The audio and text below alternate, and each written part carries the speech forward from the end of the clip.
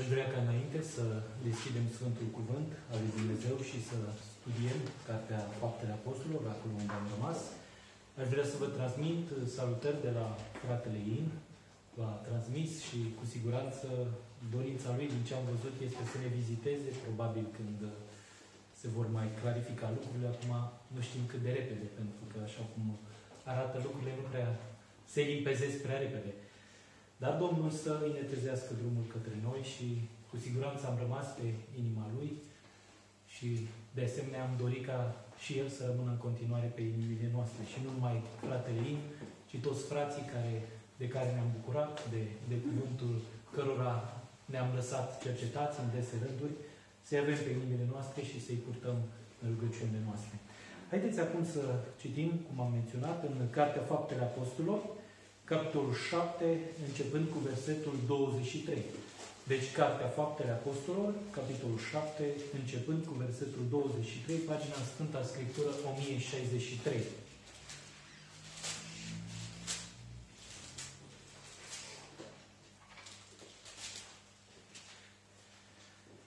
El avea 40 de ani când i-a venit în inimă dorința să cerceteze pe frații săi, pe fiii lui Israel. A văzut pe unul din ei suferind nedreptate. I-a luat apărarea, a răzbunat pe cel asuprit și a omorât pe egiptean. Credea că frații lui vor pricepe că Dumnezeu prin mâna lui le va da izbăvirea. Dar n-au priceput. A doua zi când se băteau ei, Moise a venit în mijlocul lor și i-a îndemnat la pace. Oamenilor, a zis el, voi sunteți frați. De ce vă nedreptățiți unul pe altul? Dar cel ce ne dreptățea pe aproapele său l-a îmbrâncit și a zis, Cine te-a pus pe tine stăpânitor și judecător peste noi? Vrei să mă omori și pe mine cum ai omorât ieri pe egiptean? La uzul acestor vorbe, Moise a fugit și s-a dus de a locuit ca străin în pământul Madian, unde a născut doi fii. Peste 40 de ani s-a arătat un înger în pustia muntelui Sinai, în para focului unui rug. Moise, când l-a văzut, s-a mirat de arătarea aceasta și pe când se apropia să vadă ce este, a auzit glasul Domnului, care i-a zis, Eu sunt Dumnezeul părinților tăi, Dumnezeul lui Avram, Dumnezeul lui Isaac și Dumnezeul lui Iacov. Și Moise, tremurând, n-a îndrăznit să se uite. Domnul i-a zis, scoateți încălțămintea din picioare, căci locul pe care stai este un pământ sfânt. Am văzut suferința poporului meu care este în Egipt. Le-am auzit gemetele și m-am pogorât să-i izbăvesc. Acum du-te, te voi trimite în Egipt. Pe acest Moise de care se lepădaseră ei, când au zis, cine te-a pus pe tine stăpânitor și judecător, Dumnezeu l-a trimis ca stăpânitor și izbăvitor cu ajutorul îngerului, care îi se arătase în rug. El i-a scos din Egipt și a făcut minuni și semne în Egipt, la Marea Roșie și în pustie 40 de ani. Acest Moise a zis fiilor lui Israel, Domnul, Dumnezeul vostru vă va ridica dintre frații voștri un proroc ca mine. De el să ascultați. Amin. Amin. De el să ascultați. Amin. Dragii mei, fiecare dintre noi stăm în fața unui Dumnezeu și ce-i datorăm cu toții? Ascultare și supunere. Necondiționat.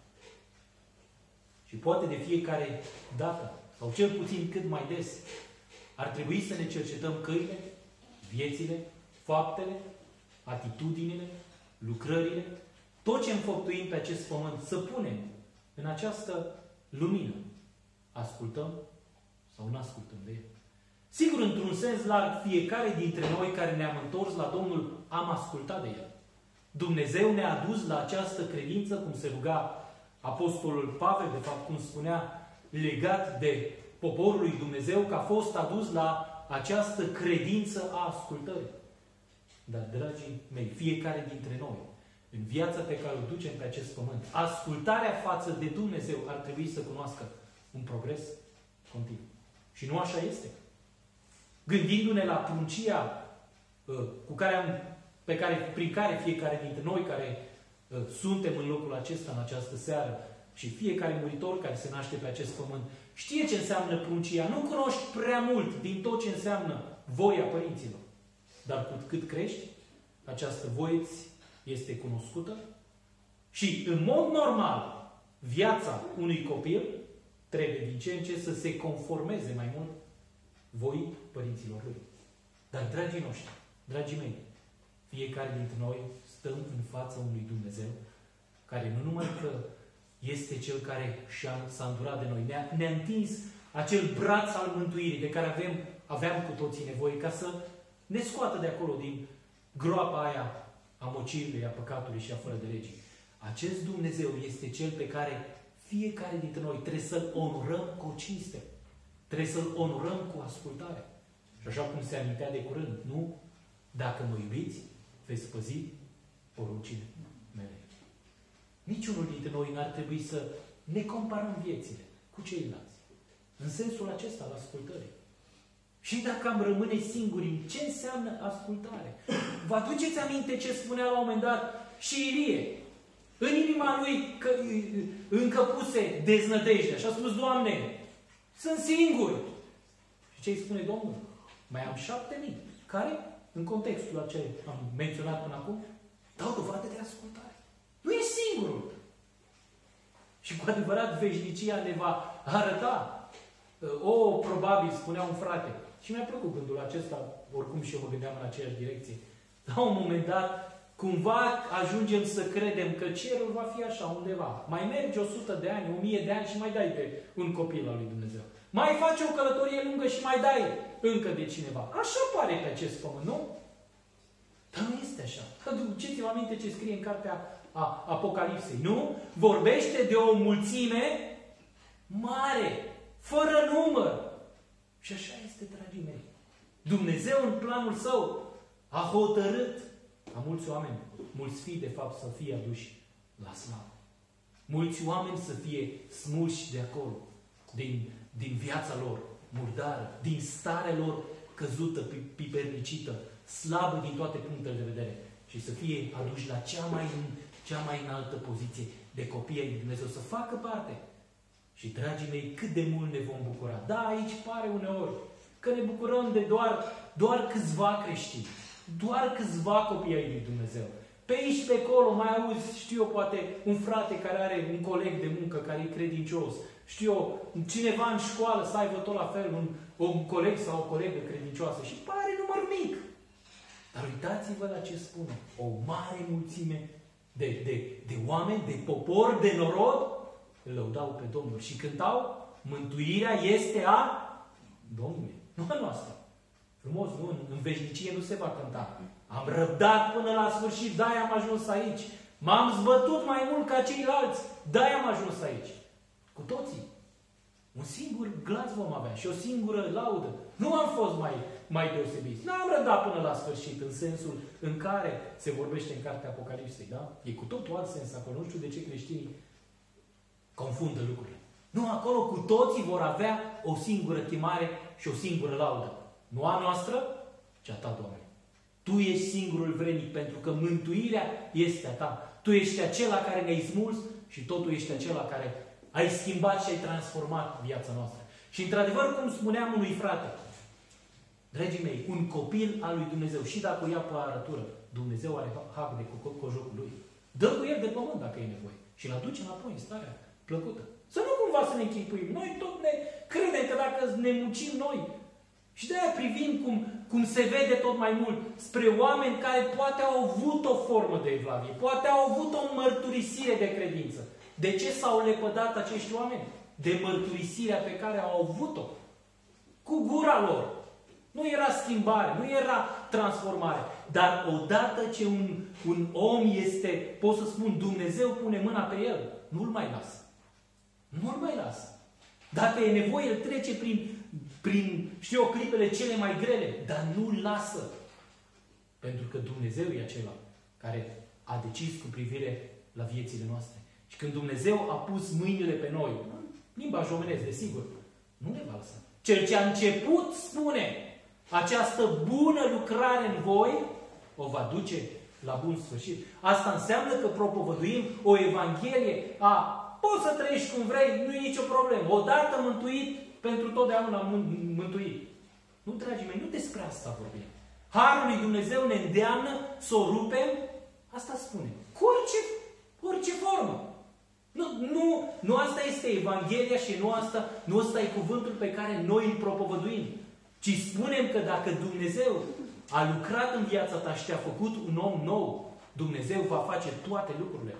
Și, dragul meu, când nu asculți de Dumnezeu și poate rămâi în această stare, când poate obiceiuri, lucruri, stări persistă în viața ta, să nu uităm ce spune tot autorul cărții evrei, să nu disprețuim mustrarea Domnului.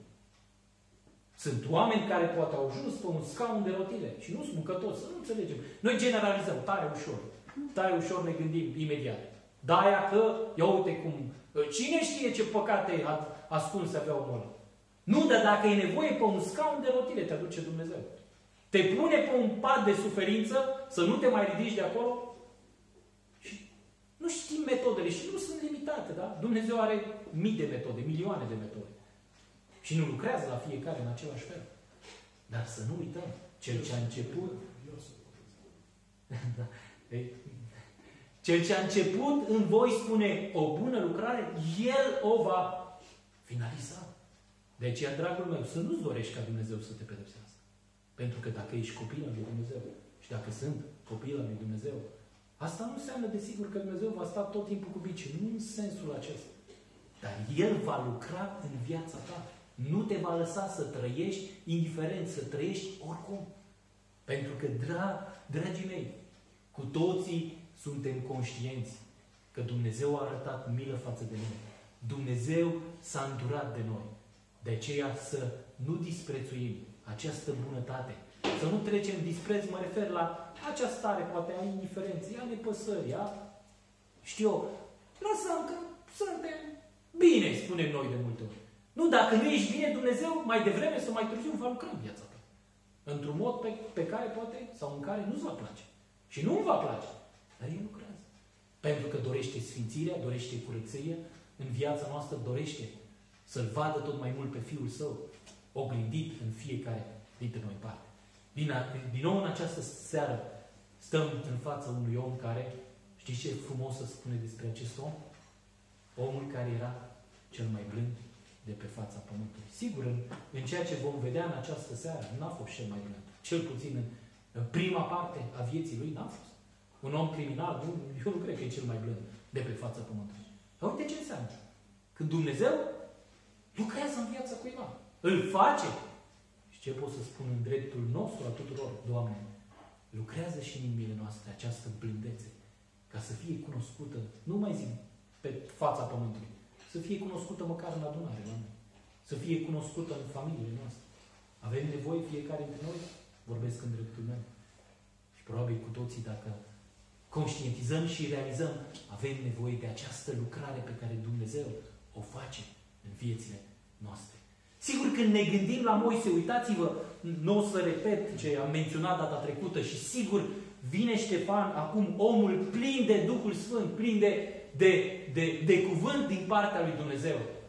Și sigur se argumentează în fața lor și arată de fapt că nu vorbește împotriva lui Moise. De-aia toată, tot această cuvântare pe care o duce înaintea lor cu privire la Moise e un argument. Dar în același timp, uitați-vă, atât Iosif cât și Moise ce sunt? Niște persoane care amintesc și vorbesc. Sunt doar un fel de icoane. Uitați, avem și noi icoane. Icoane vii, nu pe pereți, da? Icoane vii care vorbesc, care prefigurează, care vorbesc despre o viață cu mult mai deosebită. Care viață? Niciunul dintre noi nu ne doim. E vorba de viața Domnului nostru Isus Hristos. Și Iosif. Și am amintit atunci câteva lucruri prin care parcă Iosif se identifică cu cel care avea să vină după mii de ani să moară la crucea Golgotei. Dar uitați-vă și la Moise. Doar așa întreagă. Și poate mai sunt și alte lucruri la care vă puteți gândi dumneavoastră. Dar uitați-vă. La fel ca și Domnul Isus. În perioada de pruncie, ce se întâmplă? Toată țara. Acolo vorbește de tot Israelul, aici de tot Egiptul. Ce, ce se întâmplă? E un vacar. Și copiii întâi născuți, ce se întâmplă cu ei? Mai mult, în Egipt era vorba cu toți de partea bărbătească, ce se întâmplă cu ei? Sunt dați la moarte. Nu e o similitudine, o asemănare. La fel cu Moise, nu? În aceeași perioadă în care parcă băieței, de par, băieței sunt dați la moarte, așa s-a întâmplat în vremea Domnului Iisus. Vă aduceți aminte? Tot, Ieru, tot Israelul se tulbură. Tot Iz, Ierusalimul se tulbură. De ce? Venise împăratul împăraților pe acest pământ. Apoi, uitându-ne la, în continuare la viața Domnului Iisus Hristos, ce se întâmplă cu El? Este respins de propriul său popor. Ce se întâmplă cu Moise? Prima dată când vine la rândul lui și el este respins. Abia a doua oară, așa cum se va întâmpla de fapt. Și cu poporul evreu, abia a doua oară, când fiecare evreu din rămășița aceea, nu o să mai citim, știm că sunt versete în Vechiul Testament, îl va recunoaște pe cel care a venit la ei. Și l-au respins. Apoi frumos, în continuare, uitați-vă, E ca și, ă, ca și Domnul Isus și Moise. Ce face? Părăsește slava unui palat pentru a fi una cu poporul său. Domnul Isus și-a făcut? Nu a părăsit slava unui palat pământesc, ci a părăsit slava, gloria. A părăsit și s-a îmbrăcat în acea haina zmereniei a umilinței, luând un trup asemănător ca și nou. Și pentru cine? Pentru, dacă doriți așa să spunem, pentru poporul său, ca să-i izbăvească, să le dea cu adevărat un viitor și o nădejde. Moise ce face apoi, după ce ajunge în pustia, în pustia aceea Madianului, ce se întâmplă cu el? Își ia o soție dintre neamuri. Vă aduceți aminte că la un moment dat cei din familia lui îl acuză în această direcție. Ce face Domnul Isus? Și-a luat o soție, biserica, dintre neamuri. Sigur, fac parte și evrei, într-un sens, da? Și evrei. Dar soția, în sensul acesta ca și comparație, nu mai este poporul pământesc al lui Dumnezeu, ci este dintre neamuri. Tot la fel. E respins de propriul său și în această perioadă a respingerii, nu? După ce poporul evreu l-a respins pe Domnul Isus, ce face?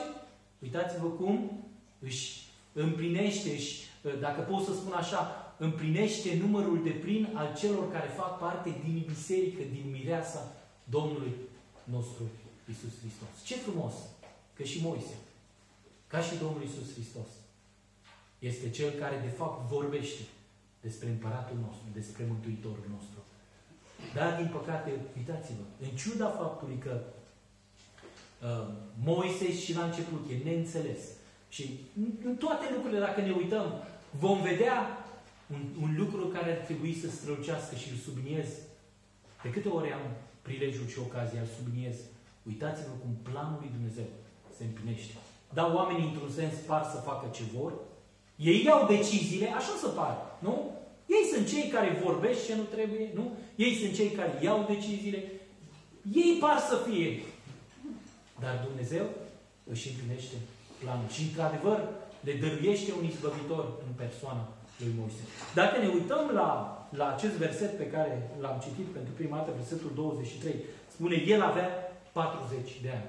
Probabil că ați remarcat și în această carte și tot ce citim în cartea Exodului și apoi în cărțile scrise de Moise, veți vedea că numărul acesta de 40 se repetă în ceea ce îl privește pe Moise.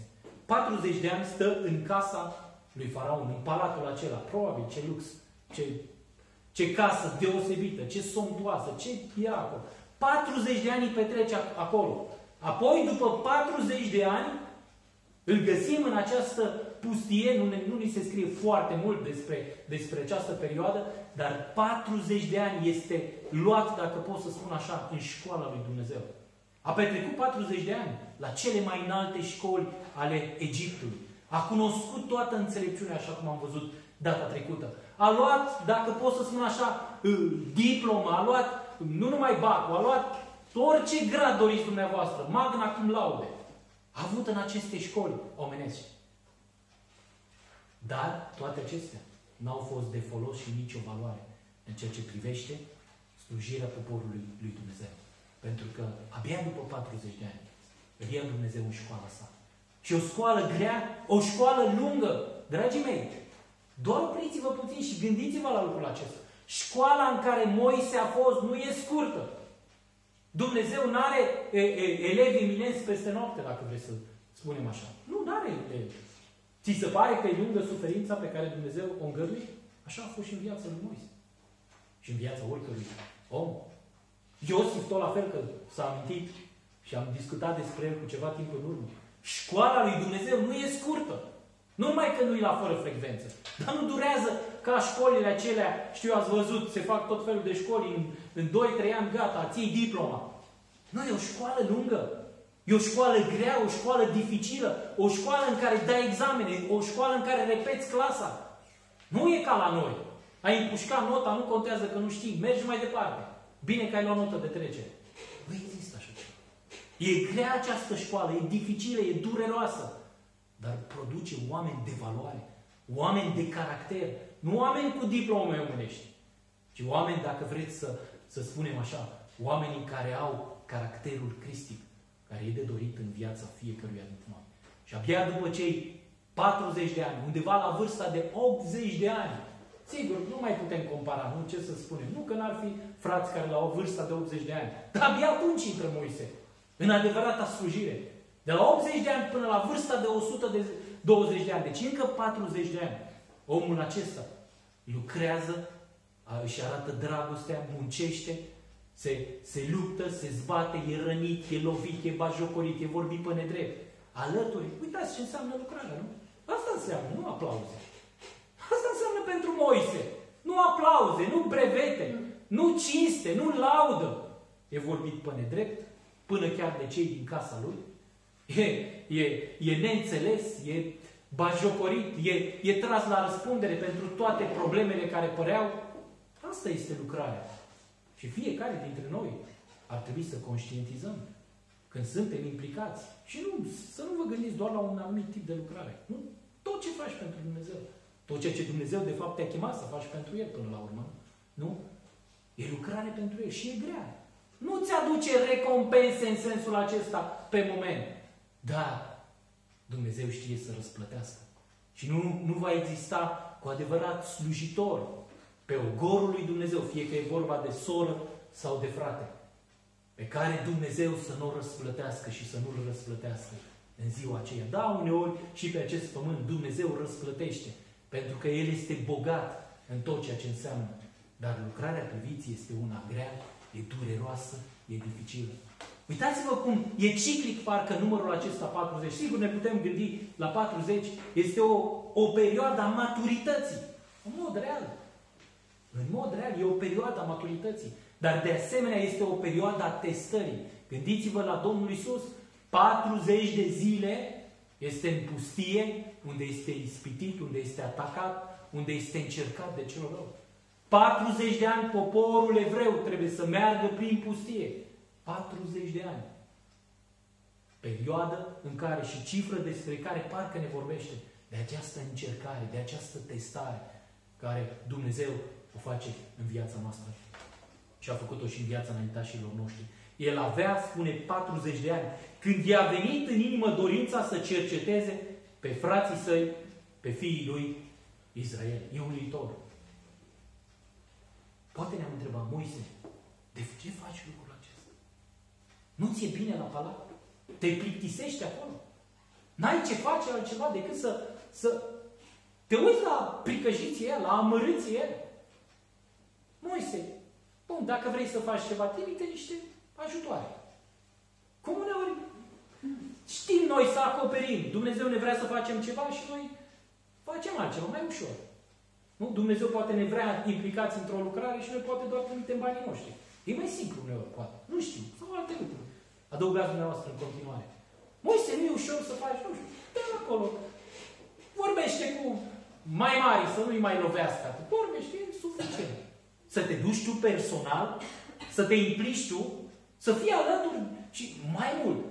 Păi, s-a amintit de dimineață despre Moise care arăta ca un egiptean, dar atunci când era în Egipt, gândiți-vă, ce prestanță, ce impozanță, ce, probabil, ce, ce atmosferă înconjura acest om. Era un demnitar, era un om bine văzut, era fiul fiicei lui Faraon. E adevărat, un fiu înfiat, dar nu-și permitea nimeni să spună așa ceva.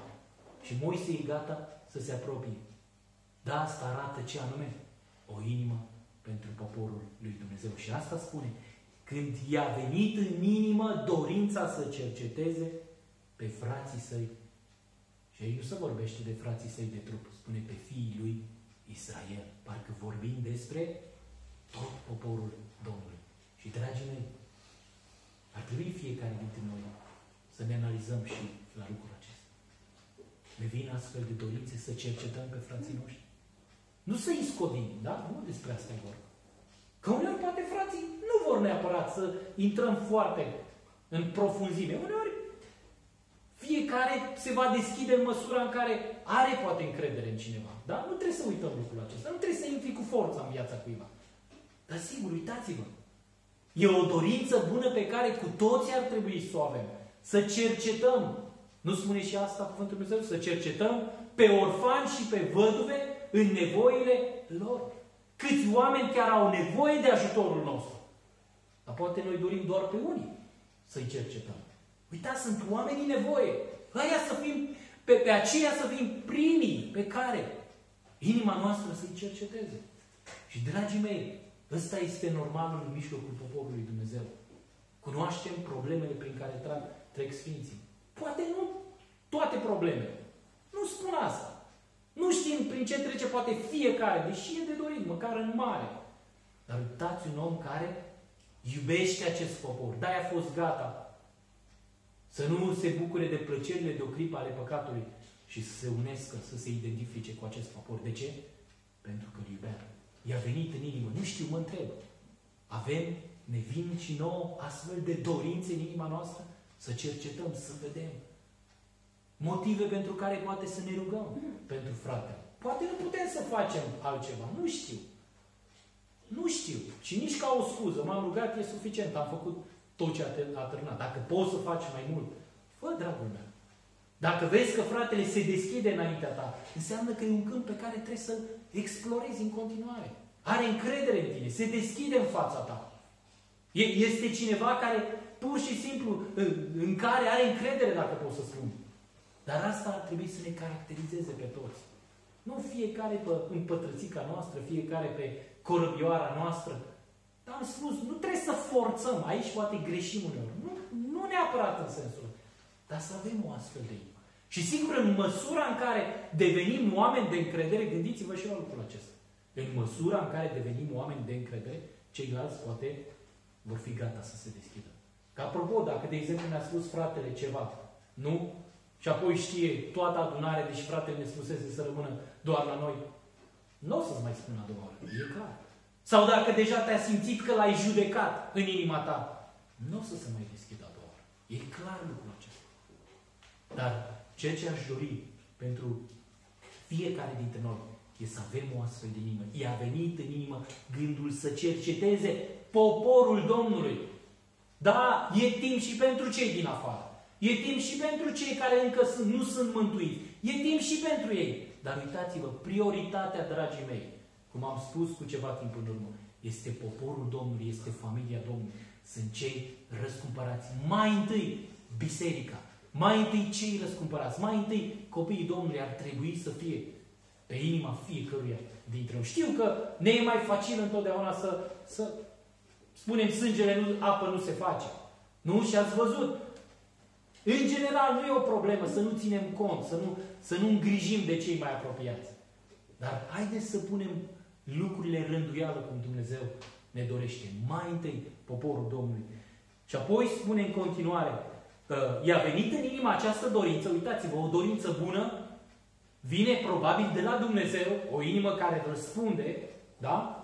Și apoi când ai astfel de dorințe, când cu adevărat pe inima ta și pe inima mea este poporul Domnului, ce spune? A văzut. Dragii mei, de ce nu vedem de multe ori nevoile celor de lângă noi? Pentru că nu avem o astfel de dorință. De-aia nu vedem. De-aia nu vedem. Și de-aia mi se pare, uitați-vă, din păcate, din păcate, fiecare e centrat doar pe problemele lui. În stare generală vorbim acum, da? Ei, fiecare se uită doar la problemele, încercările, necazurile prin care trece. Și, dragii mei, când gândim în felul acesta, suntem egoiști. Asta arătăm. Pare rău să spun. Dar suntem egoiști. Nu spun aici că nu trebuie să avem grijă, da? Cred că am vorbit pe subiectul acesta de nu știu câte ori. Când n-ai grijă de ai tăi, E jale. Nu despre asta vorbesc. Dar în general fiecare, chiar dacă poate alții trec prin probleme mai mari, suntem atât de centrați pe problemele noastre și ne plângem de milă și ne văicărim și încă nu mai avem urechi, nu mai avem ochi să vedem problemele altora. Nu-i frumos când spune cuvântul purtați-vă sarcinile unii altora. Poate sunt sarcini care l-au biruit pe fratele tău, dar n-are nimeni. Știu, poate să așteaptă doar de la unul sau doi, doi. Nu așa. Fiecare, dragii mei. Am spus, sunt, sunt sfere în care avem intrare. Sunt sfere în care poate ceilalți poate să se deschidă. Fiecare în sferele pe care Dumnezeu ni le descoperă. Dar dacă noi ne cercetăm, dacă avem o astfel de inimă, atunci sigur Dumnezeu ne va deschide și ochii și ne va arăta. Dar uitați-vă, când ai astfel de, de dorință, Dumnezeu îți arată, îți deschide ochii să, să vezi în ce poți interveni în viața respectivă. Eu am spus, poate sunt sarcini prea grele pentru cineva. Și poate nu nimeni să pună umăr. Și Domnul te-a vrut pe tine, da? Sau m-a vrut pe mine, ca să nu înțelegem greșit, da? Poate a vrut pe vreunul dintre noi. Dar cât de frumos e când împreună ne purtăm sarcini, ne susținem, ne încurajăm. Și am spus, nu din spirit de critică, nu din alte lucruri, ci dintr-o inimă sinceră. Nu cred că Moise a avut o altfel de inimă. Moise nu s-a dus să se distrege, distreze. Hai mă să văd ce mai fac ăștia frații mei. După cum reacționează și după cum îl vedem, nu e clar că a avut inimă mare pentru acest popor. Eu cred că da și Dumnezeu l-a, l-a pus într-o astfel de lucrare. A avut cu adevărat o inimă care a iubit acest popor. Aduceți aminte, în momentul, sigur, după ce intrase în școala lui Dumnezeu, în momentul în care îi cere Domnului, ștergem mai bine pe mine. A, am putea să cerem asta Domnului pentru frații noștri? Am putea să cerem?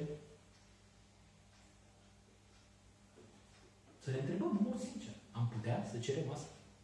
Sigur, nu că voi să vrea să aibă parte de Domnul. Nu asta, să nu înțelegem greșit. Dar uitați-vă în ce fel sau până unde a mers mijlocirea lui Moise pentru acest popor rătăcit. Și de multe ori când frații noștri greșesc, când știu eu, nu trăiesc vieți la, vieți la înălțime, nu ne doare. În inima noastră de multe ori e condamnare și o sândă împotriva lor. Și spunem, vai de capul lui, mai devreme sau mai târziu te-a arătat cine este. Nu știu, am spus-o de multe ori. Dacă e vorba de copiii noștri, suntem indiferenți? Sau spunem, își merită soarta. Putea să spună și Moise, mă, își merită soarta. Dacă Dumnezeu, Jehova în care cred, Dumnezeul părinților mei, pe mine m-a adus, m-a adus în, în casa, în palatul lui Faraon. E bine aici. Și mulți oameni nu sunt gata să, să, să depășească, să, să plece din sfera aceea binecuvântării și să se apropie de cel în nevoie. Moise nu face asta. Nu spune, e, e, e hotărârea lui Dumnezeu. Păi, până la urmă, ei își merită soartă. Uite, sunt necredincioși față de Dumnezeu, au fost necredincioși. Sunt oameni care, uite ce vieți trăiesc. Nu gândește Moise în felul acesta, ci se apropie de cei în nevoie. Și, dragii mei, fiecare om, chiar dacă e pe o cale greșită, probabil, sau neplăcută înaintea lui Dumnezeu, e un om în nevoie. Și nu așa este. Ce spune Domnul? Nu dacă ai, ai câștigat pe fratele tău, ai acoperit o sumedenie de păcate, l-ai oprit pe fratele tău din a comite poate în continuare. O, o viață de neascultare față de Dumnezeu. Poate, poate ai oprit chiar mânia lui Dumnezeu care stătea asupra vieții respectivului și Dumnezeu era poate gata să intervină. De ce să arătăm, să ne pese, să ne doară în mod real când fratele sau sora nu merge bine și apoi să continuăm, cum am vorbit, nu doar în sfera aceasta, în toate problemele, în toate greutățile, în, în toate lucrurile. Și uitați-vă, un om cu o inimă gata să cerceteze este omul care vede doar acela. A văzut pe unul din ei suferind nedreptate, i-a luat apărarea, a răzbunat pe cel asuprit și a omorât pe egiptean. Primul lucru, în ce, în, în, în ce s-a el? În apărarea dreptății, dragii mei. Nu? Vede o nedreptate făcută și cu alte cuvinte e de partea adevărului. Dragii mei, să nu uităm niciodată, fie că e vorba de cei mai apropiați, trebuie să fim drepți. Și nu este așa? Când e vorba de ei noștri, nu mai gândim la fel. Când e vorba de cei care îi simpatizăm, nu mai gândim la fel. Nu, apropo, hai ca să zicem tot cu venitul la adunare. Dacă vine, nu vine cineva la adunare care poate nu ne place nouă, deși nu că e normal, nu, nu vorbesc despre asta, că e normal, imediat îl acuzăm. Dacă e al nostru, îi găsim scuze. Și câte alte lucruri. Am dat doar cu venitul la adunare, ca să nu mai dau și alte. Gândiți-vă dumneavoastră. Uitați-vă, Moise sare în apărare dreptății și fiecare dintre noi. Unul singur este adevărul. Și, dragii mei, uitați-vă, sare în apărarea dreptății și îl costă. Îl costă. Când stai de partea adevărului, s-ar putea să te coste. S-ar putea ca fratele să nu te mai vadă cu ochi buni, că ai stat de partea adevărului. Dar, dragii mei, fiecare dintre noi suntem chemați să fim drepți. Să păstrăm această, a, această dorință, de fapt, pe care Dumnezeu o are, ca să fim apărători ai adevărului. Dar acum haideți să ne gândim la Moise. Nu l-a însoțit cele mai bune dorințe? Nu cu astfel de dorință? Ce, cu ce intenție a venit Moise? Cu o intenție bună. Însă ce iese? Din această intenție bună iese o crimă. Și, dragii mei, ar trebui fiecare dintre noi să ne întrebăm. A avea intenții bune nu e suficient. Sau nu e singurul lucru de care ar trebui să avem parte. Nu e singurul lucru. Da? Pentru că cu toate intențiile bune, dacă mijloacele folosite sunt mijloace care vin din firea noastră pământească, uitați-vă rezultatul. Moise are intențiile bune, iubește poporul, însă folosește metodele greșite. Și ce face? Prin intențiile lui bune. Omoară, omoară un vrăjmaș. Apropo, vrăjmașii noștri trebuie omorâți, nu trebuie câștigați. Trebuie să le arătăm dragoste. Asta era egiptean pentru el, un vrăjmaș. Nu și-a omorât un prieten, nu? E clar, un vrăjmaș. Și ce face cu el? Ca și Petru odinioară. Scoate sabia și știți bine, Petru n-a țintit urechea, n-a fost atât de bun. El a țintit gâtul. Că Dumnezeu a îngăduit să îi curme doar urechea acelui slujbaș și de altceva. Dar Petru, ca și Moise, uitați-vă, amândoi cu intenții bune, nu? Și, și Petru, că l-am amintit, n-a avut cele mai bune intenții să-L apere pe Domnul, să fie de partea Domnului, dar folosește metode greșite.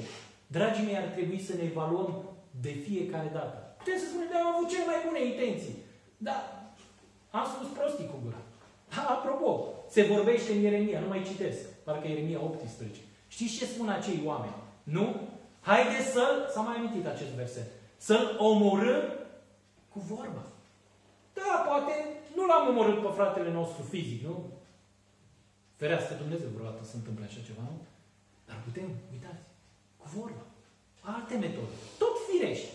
Pentru că dacă nu folosim ustensilele, instrumentele Harului, acele arme ale luminii, rezultatul nu va fi unul. Conform slavei lui Dumnezeu, potrivit slavei lui Dumnezeu. Da.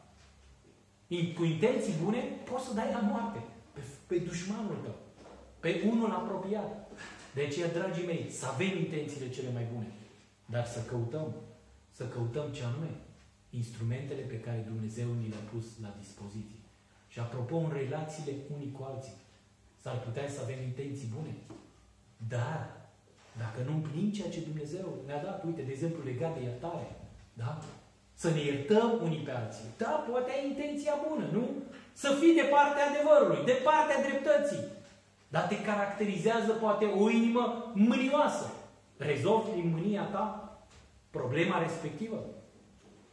Nici de cum ai apelat la un instrument al firii. Nu, noi spunem și mai să spunem în relațiile cu copii. Eu vorbesc în dreptul meu. Dar când vrei să-i corectezi, dacă ești mânios, ai, ai folosit instrumentele pe care Dumnezeu ți le-a pus la dispoziție? Nu. Și din intenția ta bună de a-l corecta. Nu? Că e un exemplu la îndemâna noastră. Ce ai ieșit? O trăznaie. Și copiii oricum au perceput cu totul altceva. Și putem continua. În intențiile noastre cu privire la ceilalți. Noi vrem să fie, nu știu, ordine în adunare. Și poate începem să țipăm unii la alții. Ar fi instrumentele folosite de Dumnezeu? Dorite de Dumnezeu? Nu. Și putem continua la N exemple.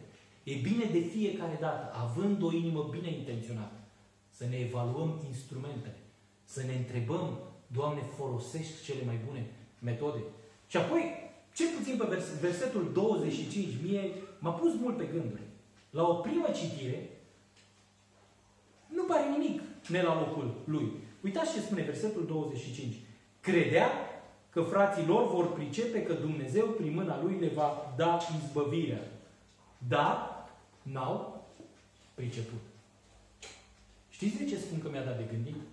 Dacă lucrul acesta era după momentul în care Dumnezeu îi se arăta în rug, înțelegea. Știa că Dumnezeu l-a trimis. Dar aici e vorba înainte. După ce era în casa lui Faraon, în acel palat. Atunci spune, credea că frații lui, nu, cum spune aici, vor pricepe că Dumnezeu prin mâna lui. Și asta mi-a vorbit despre ce v-am spus mai devreme. Sigur, poate mai pot fi trase și alte lucruri frumoase din partea lui Dumnezeu. Dar mi-a vorbit despre inima acestui om. Inima acestui om dorea cu ardoare ce anume? Ca acest popor să fie izbăvit.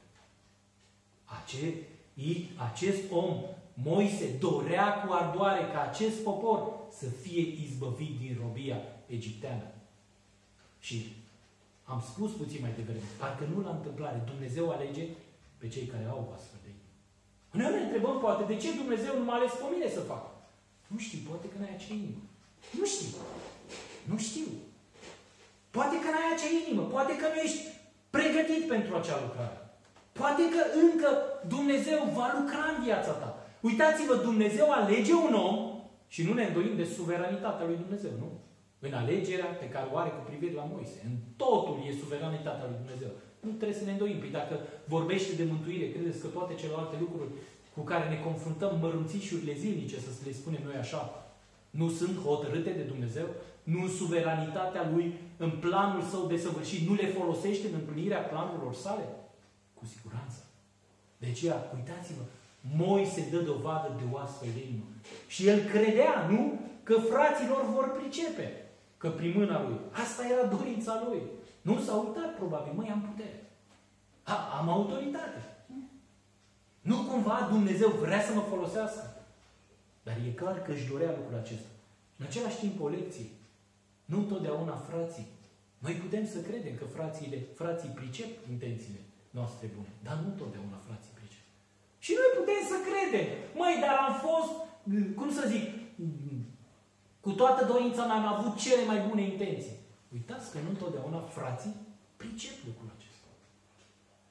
Și dacă e să luăm din punct de vedere practic, încă nu sosise momentul ca Moise să intre în această lucrare.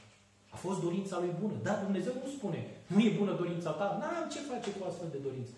Nu. Nu era momentul pentru că Moise încă nu era format în școala lui Dumnezeu. Și în același timp, uitați-vă, nici poporul nu era pregătit, vedem mai departe, să primească lucrarea și slujba acestui om. Nu era momentul. Și de aceea Dumnezeu urmează apoi să-l ia în școala lui. Și priviți ce spune, n-au priceput lucrul acesta. Deci să nu ne mirăm când poate frații. Important e că Domnul știe ce e în inima noastră. Spune, a doua zi, frumos și asta mi-a dat de gândit. Cât de des omul acesta vizitează pe frații lui o dată pe an, la Paște și la Crăciun, în limbaj, sigur, cotidian. Nu, a doua zi. Omul ăsta frecventa. Nu-mi închipui că neapărat a dormit acolo, în Goseni. Nu cred. Dar omul acesta frec frecventa, se ducea destul de des să vadă, să fie aproape. Inima lui îl trăgea și spre acest popor și spune a doua zi, când se băteau ei, Moise a venit în mijlocul lor și i-a îndemnat la pace. Oamenilor a zis el, voi sunteți frați, de ce vă nedreptățiți unul pe altul? O, o scenă tare tristă la care particip. Bun, înțelegi. Egipteanul acela, în tirania lui, în, și cum de multe ori s-a întâmplat cu oamenii care asuprau pe ceilalți. Când te uiți la reacțiile lor, la de ce sunt în stare oamenii care asupresc pe alții, te îngrozești de cât de capabilă și de rea, nespus de rea este inima omului și câte planuri poate să ducă de subjugarea celorlalți. Nu, probabil, lagările naziste ne vorbesc despre cât de diabolică e mintea omului când e lăsată în friele celui rău. Cât de diabolică, ce planuri. de chin, cât de... și cel puțin istoria vorbește despre metode de chin și de tortură greu de imaginat. Nu? Gândiți-vă și la perioada noastră comunistă. Hai să vorbim despre poporul nostru. Nu? Câți oameni au suferit? De mâna semenilor lor. Da? Și te gândești, măi, da, Moise vede asta. Da, am spus la versetul pe care l-am citit acum. E o stare tare tristă. Da, înțelegi într-un sens, într-un sens. Relația aceasta dintre cel care e la putere și omul asuprit. Dar să se bată frații între ei. Și, dragii mei, ar trebui și nouă să ne dea de gândit. Nu, întrebarea se pune. Voi sunteți frați, de ce vă nedreptățiți unul pe altul? N-ar fi întrebarea care poate uneori să o, o auzim și noi în mijlocul nostru. Voi sunteți frați. De ce vă nedreptățiți? Sigur, Exod vorbește că i-a zis celui care nedreptățea pe celul, celălalt. Ștefan un pic a, a, a, pare să fi schimbat, da? Îi adresează celui care arăta nedreptate față de fratele lui. Dar e o întrebare care ar trebui de fiecare dată să ne răsune. Nu e potrivit, nu e normalul. De-aia se ridică această întrebare. Pentru că normalul în mijlocul fraților, a frățietății, a poporului Dumnezeu, nu este să ne nedreptățim, să ne batem unii cu alții, fie că e vorba de cuvinte sau orice altceva. Nu e normal. De ce uitați-vă, un om care iubește poporul Domnului îl doare când frații lui se nedreptățesc unii pe alții. Și cu siguranță ceea ce Domnul ne amintește în Matei când vorbește ferice de cei împăciuitori. Și, dragii mei, fiecare dintre noi ar trebui să avem pe inimile noastre o astfel de dorință, să fim oameni ai păcii. Dar știți, nu neapărat să ne băgăm acolo unde poate nu este locul nostru. Dar uitați-vă la reacția pe care o au acești oameni. De ce? Pentru că nu întotdeauna suntem chemați să facem pace între doi frați. Nu întotdeauna. S-ar putea să Dumnezeu să nu ne fi chemat. E clar că omul acesta se duce fără chemarea Domnului. Da, Domnul vede, apreciază dragostea lui, apreciază intențiile lui bune, dar nu spune, e suficient. E ok, bagă-te. Peste tot. Nu. Uitați-vă la ce să ajunge. Pentru că omul acesta, cu intențiile cele mai bune, se bagă unde nu trebuia să se bage. Repet, ar trebui să fim oameni ai păcii. Dar știți unde e primul sector la care trebuie să ne gândim și să medităm? Adânc. E relația dintre noi și ceilalți. Da, s-ar putea să poți să faci pace între ceilalți. Dar când ești chemat de Domnul, când ai autoritate în sensul acesta, e o diferență. Da? E o diferență. Ci sectorul în care putem să fim oameni ai păcii este relația noastră cu ceilalți.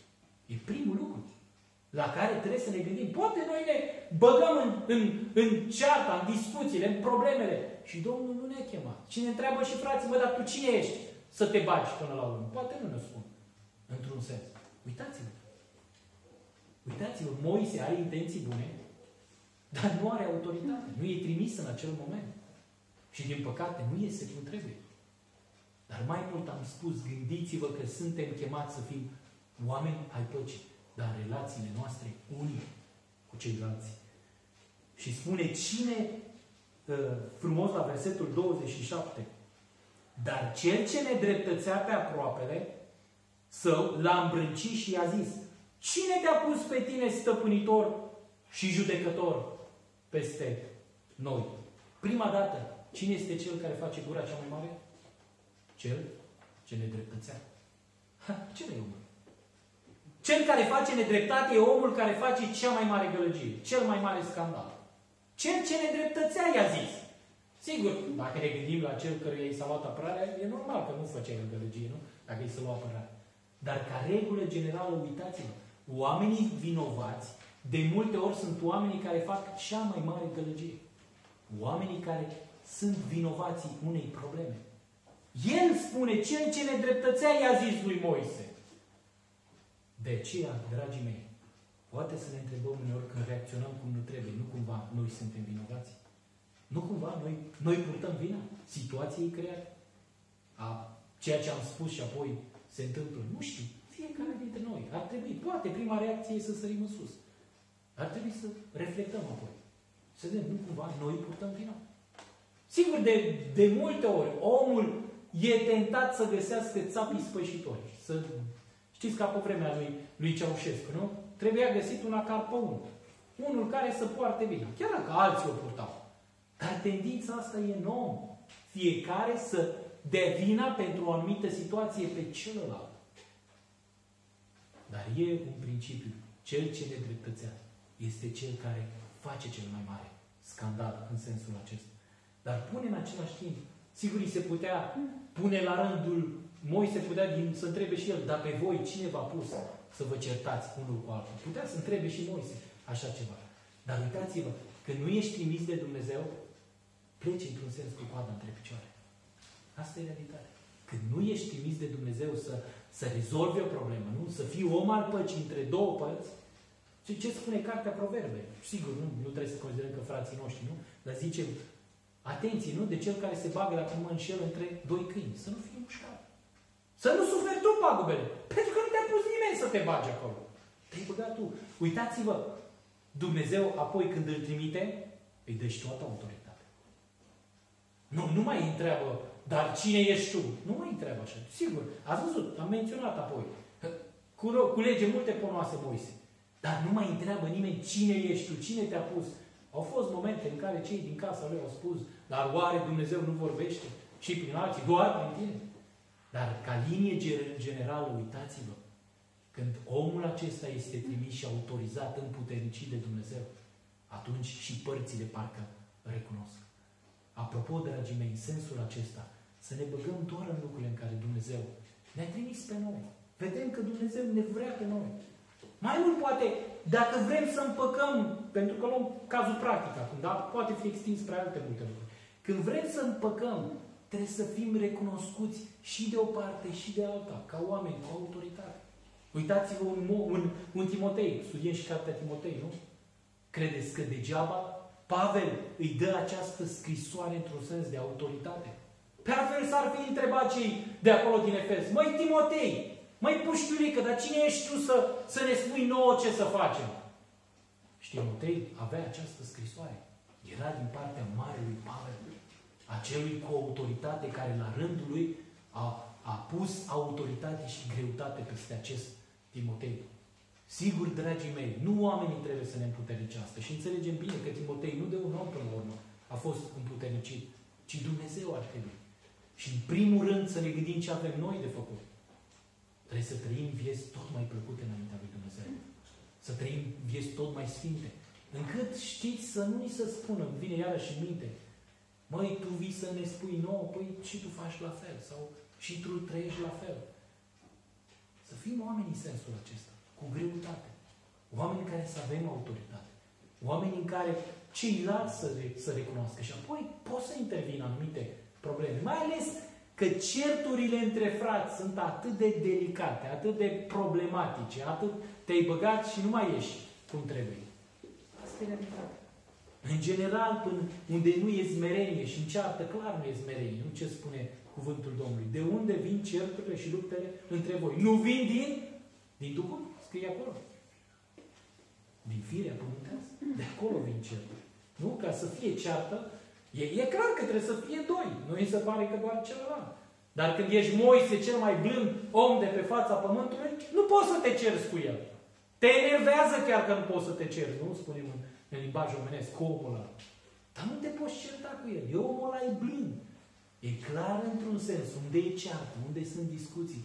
Părțile poartă vină, mai mare sau mai mică. Nu spun că întotdeauna e egală măsură.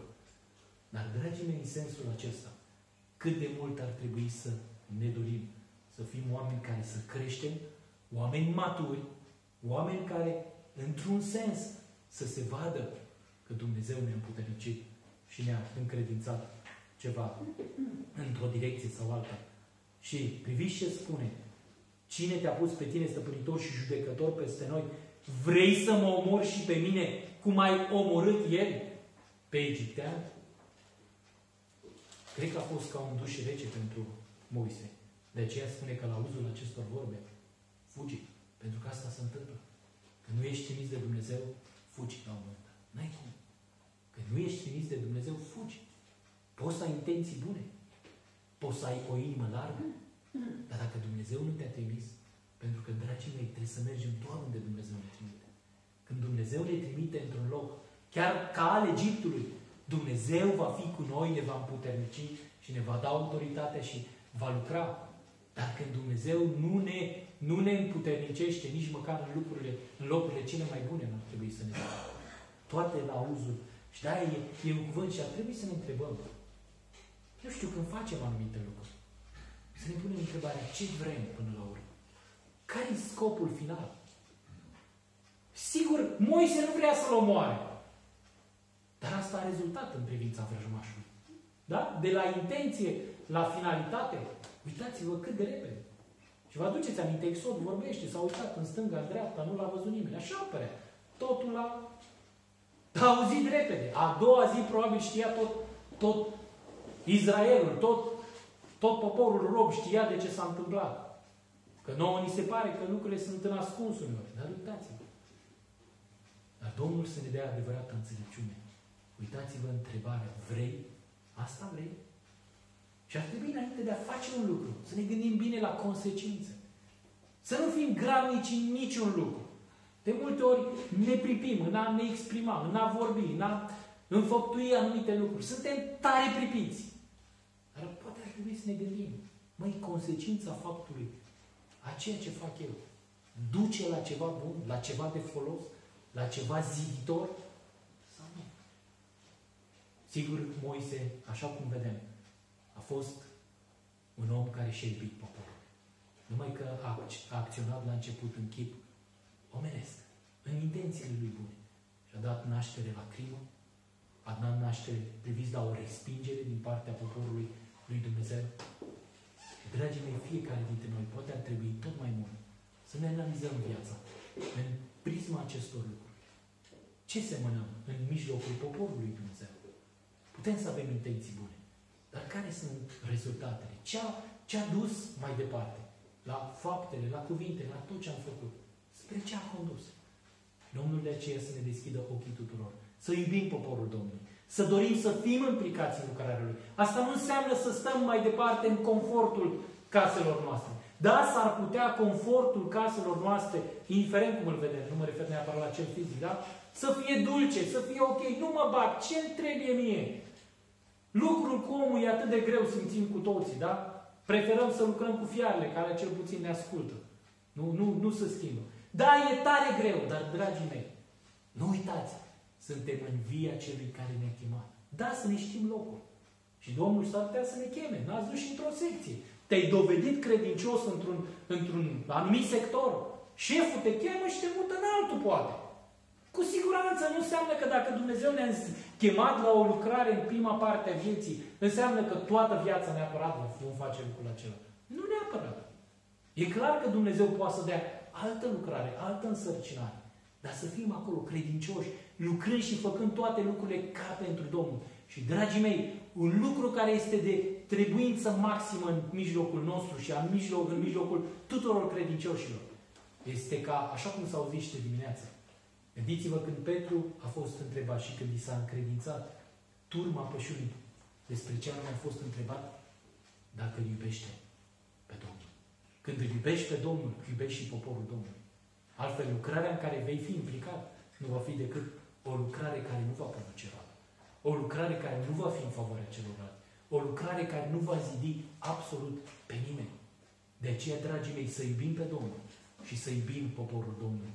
Sunt trăsăturile care ar trebui să caracterizeze pe oricine dorește să facă lucrarea Domnului. Și apoi, așa cum am văzut, să apelăm la instrumentele și la metodele lui Dumnezeu. Sunt cele care dau randament. Vorbește despre răzbunare, ați remarcat, nu? A răzbunat. Dar ce știm noi din cuvântul Domnului? Răzbunarea este a Domnului. Nu a noastră. Nu suntem chemați să răzbunăm noi. Nu suntem noi chemați să facem dreptate uneori. Ci Domnul e acela. Noi însă să fim astfel de oameni. Oameni care iubim cu toată inima pe Domnul și poporul său. Și Domnul să ne binecuvinteze pe fiecare dintre noi, să fim neobosiți în facerea binele, în tot ceea ce El, priviți faptele bune, care au fost pregătite mai dinainte, să intrăm prin ele. Sunt faptele noastre. Pentru fiecare Dumnezeu, nu? Nu să încercăm să intrăm în ale altuia, să intrăm în faptele noastre, în sectorul nostru, în ceea ce Dumnezeu ne-a dăruit nouă. Și Domnul să ne binecuvinteze și în continuare să atingă de inima noastră a fiecăruia dintre noi parte și El să fie slăvit și numai El. Amin. Amin.